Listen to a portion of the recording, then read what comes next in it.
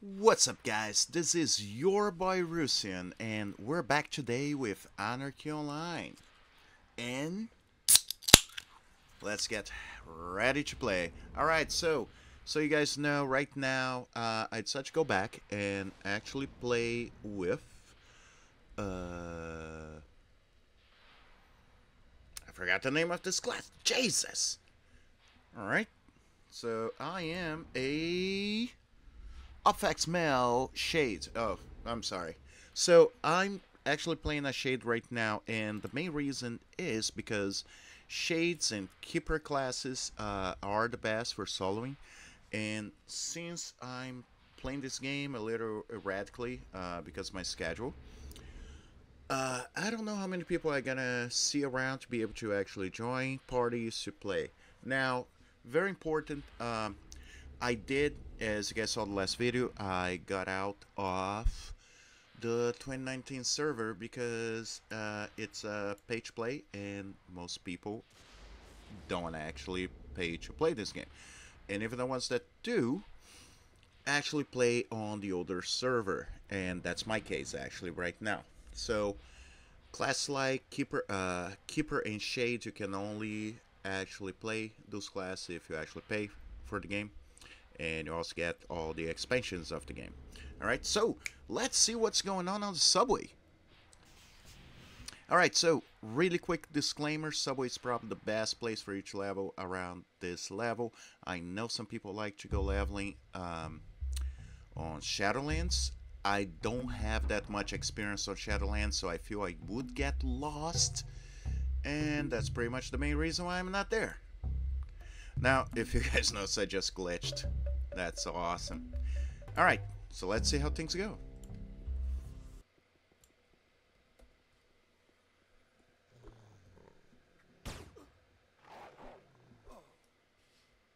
Now, one thing to pay attention is when you start getting to lower levels in in the subway, uh, you actually gonna aggro uh, their friends. So you kind of have to be careful because you're gonna be shot on the back by other characters. So take care of like usually the the ones that have aggro against you, and uh, then you take care of the rest.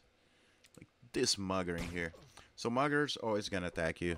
Uh, the good thing is you get some really good stuff from this dungeon, you know, most for lower levels. I mean, uh, yeah, it's stuff that you're gonna dispose very early, um, but it's a good amount of credits, uh, in the most when you have nothing, and you know, just work from there. Check before I get level capped for this dungeon is so there are a couple of drops in the subway that, if I'm not incorrect, uh, you actually can use to create things, uh, special products, but the problem with them is they're no drop and unique, what means uh, you can't get with a different character and hand to your to your main character. So whenever you get, you need to get at this point of the game. So I need to take a look, and I'm gonna take a look tomorrow before I level cap for this, before I go to the Temple of Four Winds, and I'll figure out to let you guys know. Just something to keep in mind.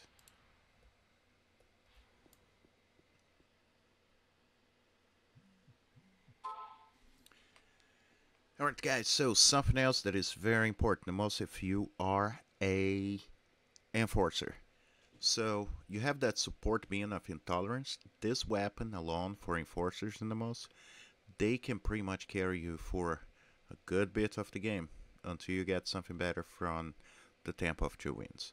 So if you guys, you know, if you're playing the game and you come to the subway, that's a weapon for you guys to pay attention. Alright? Now it's unique, which is fine. I can still sell, which is great. And the most important thing is the damage. It's kind of a slow weapon, but not too slow, and it hits from 9 to 80 damage. So, really good if you're playing Forcer, uh, pretty much anything with two-handed blunt weapons. Alright? Just keep in mind.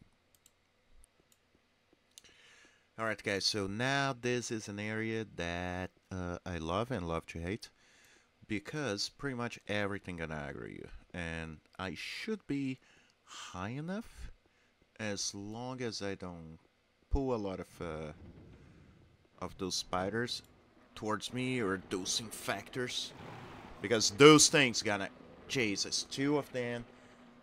That's just wrong.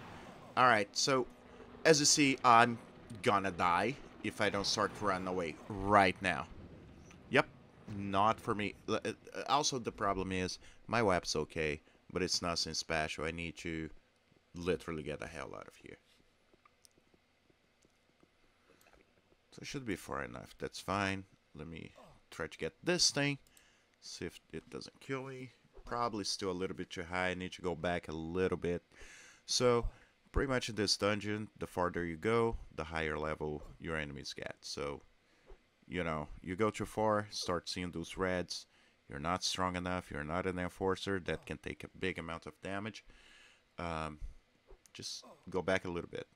Um, I'm not sure if I have to or if I can take this now, but that's the thing. If this battle takes too long, I'm just waste my time. I'm not going to get enough XP to actually, you know, allow for the amount of time I'm losing that battle.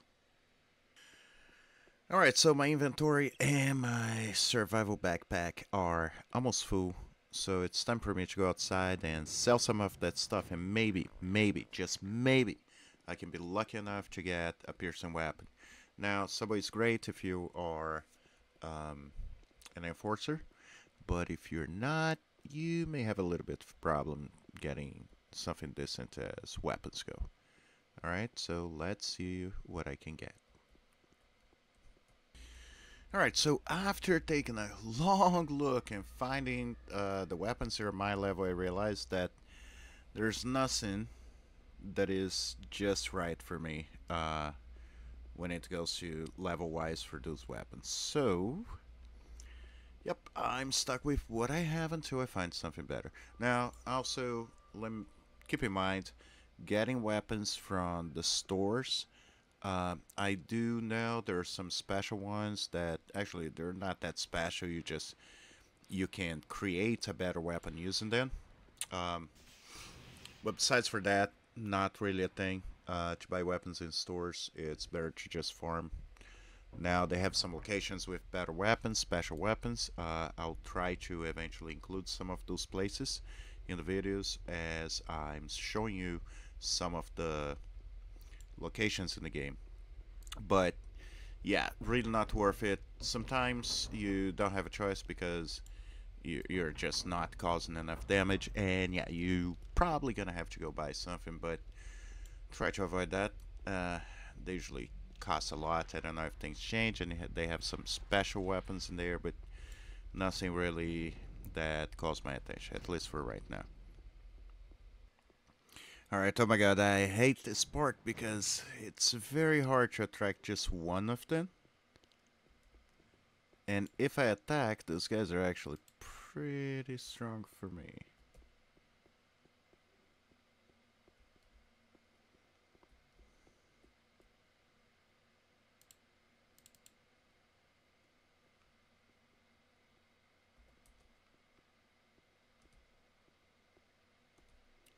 Let me try to take care of this guy first. If I stop sitting. then I can try to take care of the other ones. Because don't take me wrong, those guys are a pain. Now, they do uh, give some... Uh, they have some equipment for fixers, if I'm not correct. Uh, if I'm not wrong. And that's the padded love suits. What is great for fixers? I mean, I think that's fixer only actually. Uh, so I can't use, but I could probably put in the bank and uh, you know eventually make a fixer and I already have it.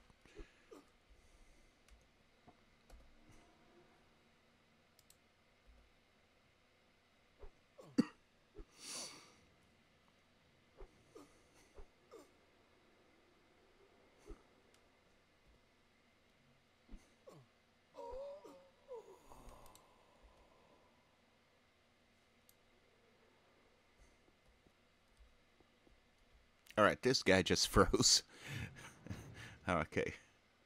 Uh, no idea where his body is. So, let me take a look in here. Nope. Um, he was eaten by the wall. That's alright. Uh, probably underneath me. Now let's try to attack this guy without pulling the other ones. That gonna be a trick. Let me try to use a sneak attack.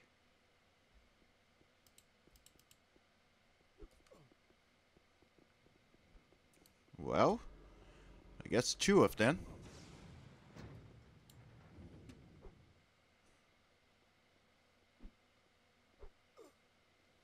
This guy's not even feeling it.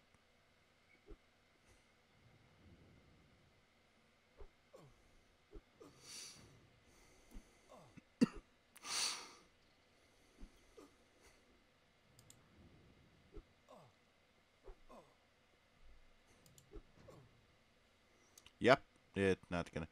It's glitching somehow. It, I I can tell because they're not moving. Um, not really showing their attack. So I think the best thing for me is just run away from here before I die. Not too too far, just far enough that I can heal. And I'm seeing combat somehow. Even if they didn't follow me.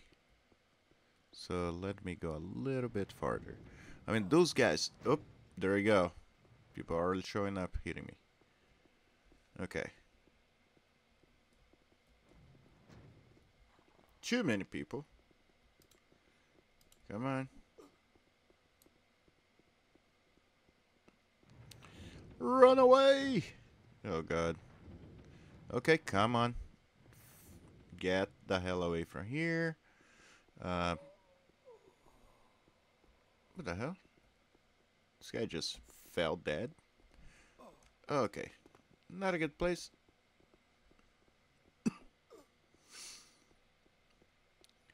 yeah, that's a problem. Find the stairs, and usually I always remember them being the other side. So, okay, let me try to see they're not following me, hopefully. I need to heal a little bit. And there we go. Okay.